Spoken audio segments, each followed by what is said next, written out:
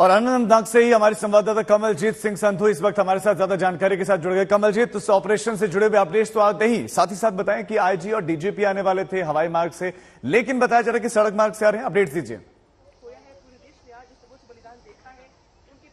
देखिए, वो लोग पहुँच चुके हैं, लेकिन यहाँ पे लगातार एक्शन चल रहा है। पहाड़ियों पे आपको बता दें, एक बारिश हो रही है गोलियों की और लगातार एक्शन चल रहा है। बीच बीच में रुके पर एकदम धमाके की आवाज़ आती है, फिर दोबारा गूंज उठता है। तो यहाँ पे एक्शन चल रहा है और लगातार अलग अलग पहाड़ के इलाकों पर बमबारी की जा रही है। ज़ाहिर सी बात है, वो एक कैविटी ढूंढ रहे हैं, यानी एक ऐसा हाइड आउट ढूंढ रहे हैं जहाँ पे आतंकी छिपे हो सकते हैं। ज़ाहिर सी बात है कि एक इंफॉर्मेशन है कि कोई गुफा लाइक स्ट्रक्चर है या फिर अंडरग्राउंड है यानी इसको कई समय तक तैयार किया गया है जिसकी वजह से अब यहाँ से उनको ढूंढा जा रहा है।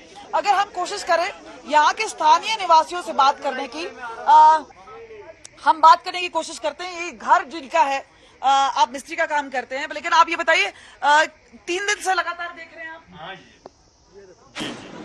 हाँ, तो कुछ बता पाएँगे कि आ, कैसे शुरू हुआ? ऐसा कहते हैं कि यहीं पे आतंकी छिपे हैं। कोई पहाड़ी पे आता जाता है? हाँ ये बुझता है मगर पता है नहीं किधर है।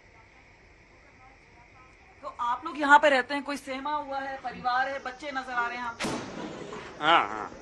डरे हैं आप लोग? जो बहुत डरे हैं हम बाहर नहीं निकले। हाँ। हम बाहर नहीं निकले हम अंदर बैठे। छोटा छोटा बच्चा है।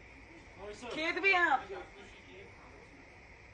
आपके खेत है यहाँ पर? नहीं। नहीं है। नहीं मिस्त्री का काम करते हैं।